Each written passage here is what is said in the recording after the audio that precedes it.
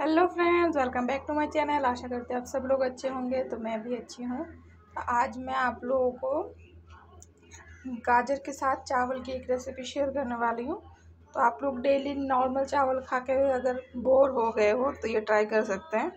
तो चलिए पहले मैं चावल को धुल लेती हूँ और गाजर को भी कद्दूकस कर लेते हैं। मैंने यहाँ पे चावल को धुल के राइस कुकर में डाल दिया है। इसमें भी खूब सारा पानी डालेंगे।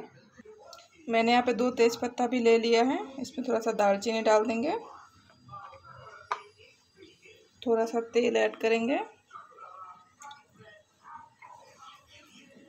एक चम्मच की करीब मैंने तेल ले लिया है। इसमें भी हम दो चम्मच नमक ऐड करेंगे।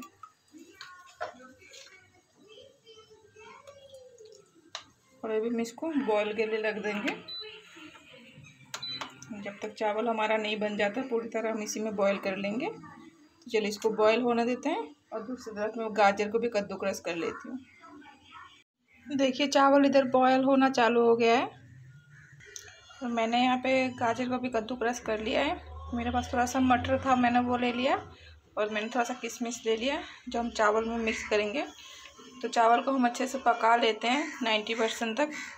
उसके बाद फिर हम ये सब चीज़ें इसमें ऐड कर देंगे। चावल हमारा रेडी हो गया है। अभी हम इसमें मटर, किशमिश और गाजर डाल देंगे।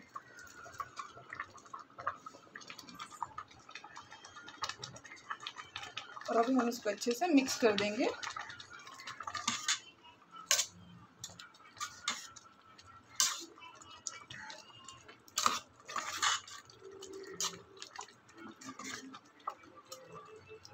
तो अभी हम इसको एक मिनट के लिए पका लेंगे मटर, गाजर और किशमिश के साथ।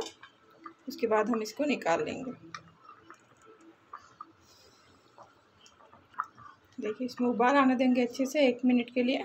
उसके बाद हम इसको निकाल के इसकी पानी हम छान लेंगे। मैंने राइस कुकर बंद कर दिया है। आपके पास राइस कुकर नहीं तो आप पतीले में भी इसको सेम तरीके से बना सकते हैं। तो चलिए, इसकी पानी हम निकाल लेते हैं। मेरे पास ये वाला छन्नी है, बड़ा वाला। आपके पास अगर ये नहीं है पतीले में आप अगर बना रहे हो तो उसके ढक्कन के मदद से आप पानी निकाल सकते हो या फिर पतला वाला जो टावल रहता है, उसी के अंदर आप इसको डाल दो, पानी नीचे चला जाएगा, चावल आपका अच्छे से खिला खिला रहेगा। तो चलिए पहले मैं इसको पानी निकाल देती हूँ, उसके बाद फिर मैं आपको दिखाती हूँ। देखिए, मैंने पानी निकाल लिया है, मेरे चावल सब खिले खिले हैं, एक भी एक चिपका नहीं है। तो चलिए आज के लिए इतना ही।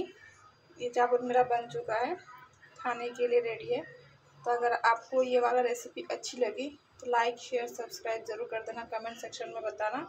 Thank you so much for watching next video में नेक्स्ट रेसिपी के साथ मिलते हैं। तब तक के लिए बाय बाय